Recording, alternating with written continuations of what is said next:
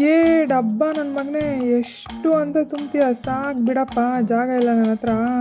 ನನಗೆ ನಿನ್ನ ಥರ ಹೊಟ್ಟೆ ಇದೆ ಅಂದ್ಕೊಂಡಿದ್ಯಾ ಅದು ಇದು ತುಂಬಕ್ಕೆ. ಹ್ಞೂ ನನಗೂ ಸ್ವಲ್ಪ ಕಾಳಜಿ ಮಾಡಪ್ಪ. ನಿನ್ನ ವಸ್ತುನೆಲ್ಲ ಸರಿಗೆ ಜೋಡಿಸು, ನನ್ನ ಕ್ಲೀನಾಗಿ ಇಡು. ನೋಡು, ಇಷ್ಟೇ ಅಲ್ವಾ ಜನ? ಕೆಲಸ ಆದಮೇಲೆ ತಿರ್ಗೂ ನೋಡಲ್ಲ ಹೆಂಗೆ ಮೂಲೆಗೆ ಬಿಸಾಕ್ತಾರೆ ನನಗೆ ಏನು ಮಾಡಲಿ? ನನಗೂ ಕಾಲ ಬರುತ್ತೆ. ನೋಡ್ಕೋತೀನಿ ಅವತ್ತು.